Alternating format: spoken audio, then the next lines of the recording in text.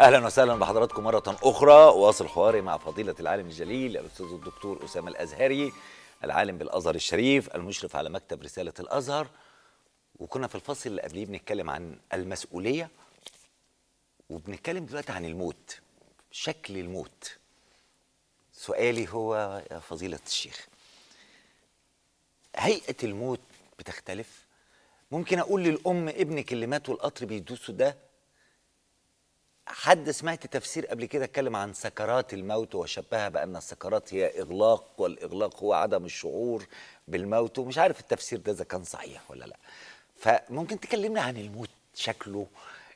بيختلف من واحد مات على فراشه واحد مات غرقان واحد مات بمرض مبطون واحد مات محروق واحد مات تحت عجلات القطار. الله. الموت في ذاته مصيبة. نعم. وفي سورة المائدة فأصابتكم مصيبة الموت. ده مصيبة من أكبر المصائب ولنبلونكم بشيء من الخوف والجوع ونقص من الأموال والأنفس والثمرات وبشر الصابرين. بلاء من أكبر أنواع نعم. البلاء. آم، وتتوزع ال ال ال يتو بينقسم الألم فيه على طرفين. أصحاب الميت وأهله وأسرته والإنسان الذي يباشر الموت.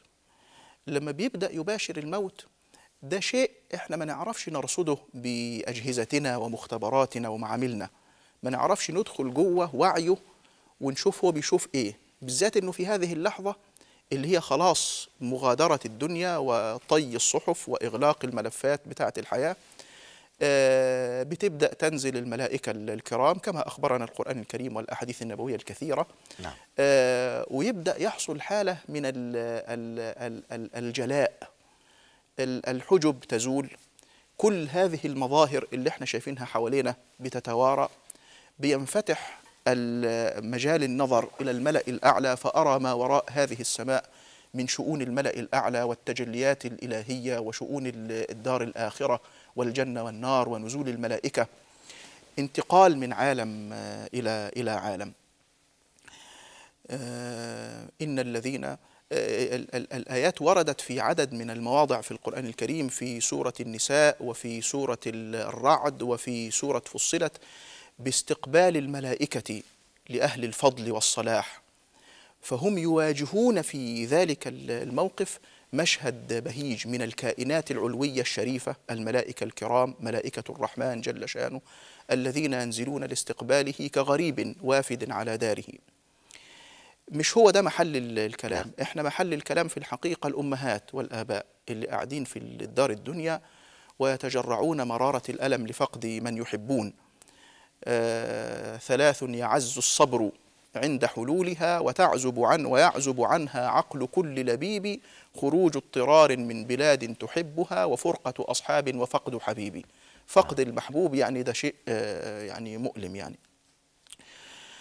العلماء قالوا كل شيء في الكون يبدأ صغيرا ثم يكبر إلا المصيبة تبدأ كبيرة ثم تصغر.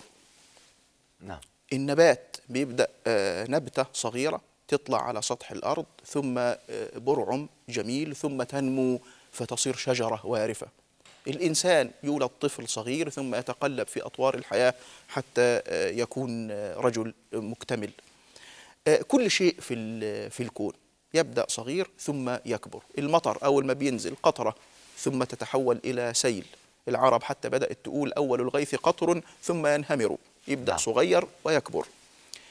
إلا المصيبة. من لطف الله أول ما تبدأ بتكون في كامل عنفوانها أشد لحظات المصيبة. التي علمنا فيها سيد الخلق صلى الله عليه وسلم كما في صحيح البخاري إنما الصبر عند الصدمة الأولى. أهو أول لحظة من وقوع المصيبة أشدها على النفس في الحقيقة. ثم تفاجأ بالأم التي مات ولدها الوحيد. وفقدته يخيل إليها في لحظة أنه آه، آه، خلاص فقدت كل شيء. صارت الدنيا مريرة في نظرها. لا عمرها بعد كده هتهنأ لا بأكل ولا بشرب ولا خلاص عافت الدنيا خلاص. وتفضل في الحال ده يوم واثنين وثلاثة وأربعة وخمسة وستة وأسبوع وأسبوعين وشهر وشهرين وفي الآخر تلاقي برد القلب. وبدأت تذكره فتترحم عليه. وجفت الدموع.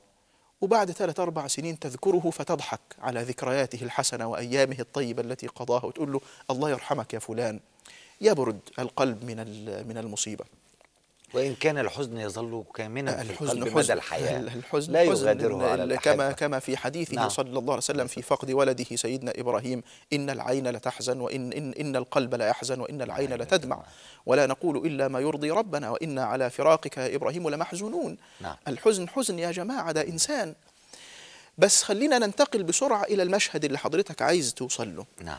آه، الموت موت الإنسان على فراشه يختلف تماما عن موته بظروف وهيئات وأحداث أخرى. ولذلك جاء في سورة آل عمران آيتين متعاقبتين تبين لك الفارق بين الموت والموت بهيئة خاصة. نعم. ولئن قتلتم في سبيل الله أو متم ولئن متم أو قتلتم لإلى الله تحشرون. قتلتم أو متم متم أو متم أو قتلتم. قتلتم. فالعلماء بيقولوا الأولى في حق المجاهدين الذين خرجوا في الحرب في 73 الضباط اللي على الجبهة متوقع الموت في أي لحظة. دي حرب صواريخ ورصاص ودبابات والداخل فيها شهيد مفقود. نعم. لكنه بيدافع عن قضية حق عن أرض الوطن تراب الوطن الغالي. فلما كان الداخل إلى الحرب الأصل فيه أنه يعني ميت. يقدم نفسه فبدأ بالقتل ولئن قتلتم في سبيل الله أو متم لمغفرة من الله ورحمة. والآية الثانية في حق عموم الناس اللي موجود في بيته بيصحى الصبح في الله وبي- الأعم أن إذا متم. بالضبط. آه. فالأصل فيه أنه هو يموت الموت المعتاد الطبيعي. نعم. ويقع النادر أن تقع جريمة سطو قتل سرقة آه، فتأتي آه، آه، ولئن متم أو قتلتم. نعم. لكن بس شوف ال- شوف الفارق إنه القرآن الكريم فرق ما بين قضية الموت المعتاد أن الإنسان يموت على فراشه مكرما أو قضية أخرى سماها القتل. نعم. والقتل له صور. وبمقدار ما يعني كلما ازدادت هيئة القتل صعوبة وشدة ازدادت ال- الميت عند الله تعالى حتى يوضع جنبا إلى جنب بجوار الشهيد. وبدأوا العلماء يقولوا ال- المصطفى صلى الله عليه وآله وسلم ذكر لنا في أحاديث كثيرة أن أن المبطون شهيد الم- الميت بألم في البطن شوف بخلاف الإنسان الذي شهق شهقة وفاضت روحه لكن إذا أو نام مرض يستيقظ. كبد كلى شهيد والحريق شهيد والغريق. والغريق شهيد نعم. وصاحب الهدم شهيد وقع. الشهداء اللي بيموتوا في الإسكندرية اللي وقعت العمارة بيهم نعم. وانهدت على رؤوسهم الناس قاعدة في أمان الله وفجأة ما لقوش نفسهم في الدار الآخرة الغفلة. خلاص آه، موت موت الفجأة والغفلة نعم. آه، صاحب الهدم شهيد المرأة تموت بجمع أو جمع شهيدة المرأة التي تموت أثناء الولادة نعم. في شوف شوف شوف شدة الألم المخاض وشدة ألم حتى زاد الألم فما ما استطاع جهازها العصبي أن يتحمل فماتت شهيدة شوف الهيئة الخاصة لحظة الولادة لحظة فرح وسرور وحبور وأن أن أن أن أن أن تستخرج حياة من حياة وأن مخلوق جديد يخرج إلى الدنيا لحظة سرور وفرح. وترافقها آلام عند الأم لا تتذكرها أبدا لكنها ماتت. نعم. ف يعني صاروا متحيرين. أنا مش عارف أفرح بمجيء المولود ولا أحزن لموت أمه. أحمد شوقي له قصيده طويلة مضحكة مبكية. بيتكلم عن ليلة آه، يا ليلة سميتها ليلتي لأنها بالناس ما مرتي. ما عدش على الناس ليالي زي كده خالص. اللي إيه اللي حصل في الليلة دي؟ إنه زوجته بتضع فعايز يفرح بالمولود ووالده يحتضر. فأنا مش عارف أدخل الحجرة اللي فيها الزوجة وأفرح أقول لها يعني شد حيلك. وربنا كرمك وكذا. ولا أدخل الحجرة اللي فيها والدي في النزع الأخير يحتضر فأنا عايز أعيط وأبكي هنا وعايز أفرح هنا. حتى وصل إلى بيت يقول فيه حتى أتى الصبح فولى أبي وأقبلت بعد العناء ابنتي. شوف المفارقة ال- في في سبحان لحظة واحدة. روح ذهبت وروح أتت. وهكذا. فبدأوا العلماء يقولوا الله. ده إذا كان صاحب الهدم شهيد اللي مات وقع عليه العقار لغش ال- ال- البناه اللي بيبنوا ولا الإنسان اللي مات في حريق ولا غريق ده شهيد. طب واللي بيموت في المعركة في 73 في العاشر من رمضان في مقاتلة العدو برضه شهيد. الاتنين واحد قال لك لا كلهم شهداء بس دي درجات. نعم. والعلماء بدأوا يقولوا برضه إحنا النهارده يعني إيه بنفصص حاجات في في العلم عسى يا رب أن تكون مفيدة. قالوا العلماء ثلاث أنواع شهيد الدنيا وشهيد الآخرة وشهيد الدنيا والآخرة. ها ثلاث ثلاث فئات. علشان نعرف برضه إنه أهل الفضل برضه من جوة آه، آه، آه، متفاوتين. مفيش نعم. كمال إلا فيه أكمل منه. في شهيد الدنيا والآخرة ده اللي بيموت في الحرب. نعم. بعتنا الجيش بتاعنا إلى سيناء في 6 أكتوبر وفاضت أرواح الشهداء. ده شهيد في الدنيا. يعني إيه شهيد الدنيا؟ يعني بياخد في الدنيا أحكام الشهيد. نعم. لا يغسل. كما هو. يكفن بأثوابه ال- ال- المعلومة. فليه أحكام فقهية إحنا بنعملها في نعم. الدنيا؟ فأخذ أحكام الشهيد اللي إحنا بنجريها في الدنيا بقى اسمه شهيد الدنيا. وله عند الله تعالى في الجنة أجر شهيد. في نوع تاني اسمه شهيد ال- الدنيا فقط. ده واحد آه، خرج في في الحرب آه، لكنه جاسوس. ده عميل. ده بيطلع مع الحرب وبينقل أخبارنا للعدو علشان يقصفوا جنودنا. بس آه، اسمه زي اسمنا. ومتسجل قدامه في الأوراق مسلم وراح في المعركة فإحنا بنعمل إيه بناخد الشهداء كلهم وبنعاملهم ما نعرفش واحدة فبنعامله كشهيد دنيا ياخد بس كده. إجراءات الدنيا بس لكن. الآخرة بقى عند اسمه الله شهيد بقى. دنيا فقط نعم. والله أعلم بنيته النوع الثالث اللي إحنا بنتكلم فيه شهيد الآخرة يعني إيه شهيد الآخرة؟ يعني له عند الله تعالى في الجنة في يوم القيامة درجة الشهيد. بكل ما للشهيد من نعماء وسراء ودرجة عالية في الجنة لكن لا لا تجري عليه في الدنيا أحكام الشهيد. فيغسل ويكفن ويصلى عليه والمعتاد في إجراءات الدفن. لكن شوف حضرتك مثلا سيدنا خالد بن الوليد شوف الفارق عنده ما بين هيئة الموت الخاصة اللي بتزيدنا ألما على صاحبها والموت الهادئ الهنيء المعتاد. بيقول لقد شهدت مئة معركة. خرج قائدا حربيا أو جنديا في مئة آه، عملية حربية مئة معركة. نعم. وسيدنا خالد بن الوليد ده معروف سيف الله المسلول. يقول لقد شهدت مئة زحف ومعركة أو زهاءها اللي يقرب. عديته 195 98 آه، 100 وما من موضع في جسدي شوف شوف ال شوف ال الألم الخاص ال وما من موضع في جسدي إلا فيه ضربة بسيف أو طعنة برمح أو رمية بسهم ثم ها أنا ذا أموت على فراشي كما يموت الجبناء كما يموت كما يموت عموم الناس فلا نامت أعين الجبناء آه يعني عزز علينا قوي إنه إنه يعني 100 كل ده كنت عايز أموت هنا. 100 100 معركة. يعني ده, ده في من الرفاق اللي طلع معي في أول معركة ومات شهيد. نعم. لكن أنا سبحان الله حكمة ربنا. فبدأوا العلماء كان شيخ مشايخنا العلامة الجليل المحدث الشيخ عبد الفتاح أبو غدة ينقل عن شيخه الشيخ الزرقاء من كبار علماء الشام فرج الله عنها بلطفه. ينقل عنه فائدة نفيسة طريفة. أعتبرها أيضا من الطرف العلمية التي نتحف بها الحاضرين والسادة المشاهدين. بيقول له أنت تعرف آه، ليه سيدنا خالد دخل المئة معركة ومع ذلك ما ماتش شهيد؟ قال له لا يا مولانا عرفني يعني قول لي الفائدة اللي عندك دي. قال له لأن النبي صلى الله عليه وسلم سماه سيف الله وسيف الله لا ينكسر. يا سلام على شوف شوف شوف لطف المعنى شوف الفهم عن الله آه، آه، آه، الحلية النبوية التي جاءت بالوحي وحلاه الله بها على لسان نبيه الكريم سيف الله يبقى ما يموتش مقتول ابدا يموت صاغ, صاغ سليم زي ما هو كده سبحان الله. سيف الله قال يصبح التفسير تكريم حتى لا يصبح بالضبط، التفسير بالضبط. الآخر انتقاص من قيمة ما شوف. شوف اختلاف نعم، زاوية النظر نعم. للأمر سبحان قال يا الله. ابني لأنه ربنا سماه سيف الله الحلية النبوية وسيف الله تعالى لا سبحان الله. طب سيدنا أنا آسف بس عايز أختم الحتة إحنا دي. إحنا بعدنا شوية بعدنا شوية بس. لازم أختم الجزء ده. اتفضل اتفضل. قد يكون فيما يقوله الله سبحانه وتعالى في كتابه الكريم ما يطمئن نعم. الأهل على ابنهم المفجوعين فيه. أيوه أيوه. ولكن الميت نفسه. نعم.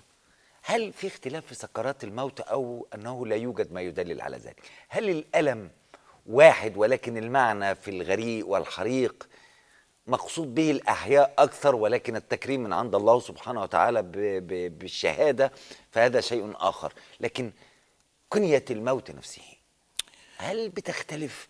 هل وأنا بغرق ألمي أكتر ما هي روح وسكرات موت؟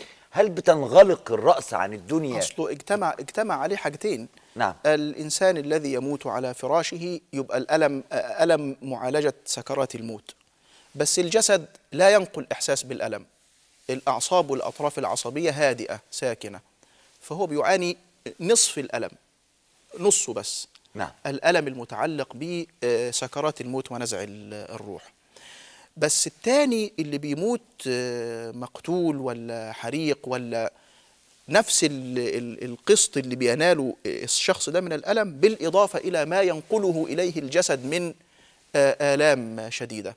مات محروقا ولا مات غريقا قبل أن نصل إلى مرحلة السكرات بتاع بالضبط الموت. بالضبط. شوف شوف ال- هنا حالة وعي دنيوي لسه قائم بالضبط. فيها فتعذب. ففي حاجة تاني ضافت عليه أهي في قدر زائد كما يعبر العلماء. هل في حاجة كل تعذيب بالفعل بيبقى نوع من التكريم وتنقية الروح مما علق بها من؟ علشان كده بقى شهيد. وده وده وده المقصد اللي أنا قلت علشانه الحكاية الطويلة دي كلها. يا جماعة. حتى لو كنت عاصي يا مولانا وبعدين جيت ربنا كتب لي الشهادة يعني كنت عاصي ومكابر و... واخداني الدنيا.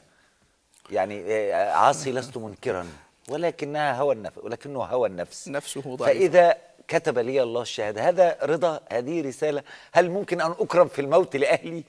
ما جاور الشيء له حكمه كما كما يقولون. فاولئك مع الذين أنعم الله عليهم من النبيين والصديقين والشهداء والصالحين وحسن أولئك رفيقا. مرتبة الشهادة ده دي مرتبة عالية جدا.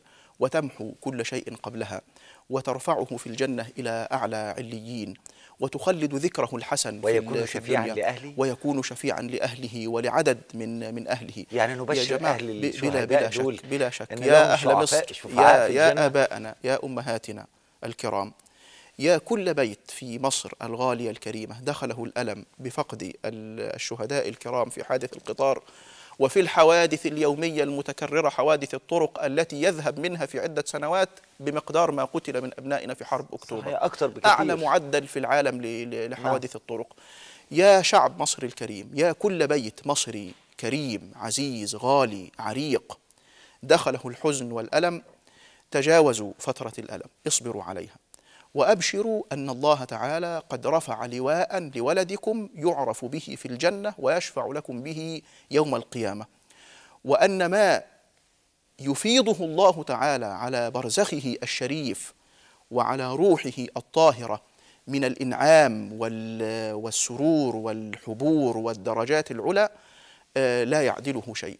وفي حديث سيدنا جابر بن عبد الله أن والده عبد الله بن حرام قتل في الحرب فلقي الله كفا- كفاحا. فقال الله تعالى له هل بقي لك شيء عندك أمنية؟ قال أن أرجع لأخبر الناس بشرف ما لقيت من درجة الشهادة. فقال الله تعالى له قد سبق القول أنهم أنه لا لا رجعة في في الموت لكني أخبر الناس الناس عنك. فأنزل الله تعالى الآيات في آل عمران في فضل الشهداء وأنهم أحياء. عند ربهم يرزقون. وفي الحديث أن أرواح الشهداء في حواصل طيور خضر تمرح بهم في الجنة ومروجها وسهولها. وهذا الغيب الشريف لا سبيل لنا, لنا إلى معرفته إلا الوحي المعصوم المنزل على قلب سيدنا ومولانا محمد الصادق المصدوق صلى الله عليه وآله وسلم. فأسأل الله تعالى أن ينزل الصبر والسكينة على قلوب أمهات الشهداء. وبمقدار ما تخيلتم من وقوع الألم على ابنكم الكريم الغالي علينا جميعا ضوعف له السرور والحبور ورفعة الدرجة في السماوات العلى وفي جنة الخلد. وزادهم الله صبرا اللهم وايمانا. آمين. اللهم هنطلع فاصل بعد الفاصل. هنرجع لسيدنا النبي عليه الصلاة والسلام ونحن على وسلم. ذكرى مولده الشريف والكريم. وهرجع لكم بندوة كان فيها حوار حول سيدنا النبي عليه الصلاة والسلام. ثم نتواصل حول كيف نحتفل بالنبي عليه الصلاة والسلام كيف نعبر عن سعادتنا بهذا اليوم كيف نتخلق بخلق النبي رضي الله عليه أفضل عليه الصلاة والسلام. نلتقي بعد الفاصل إن شاء الله.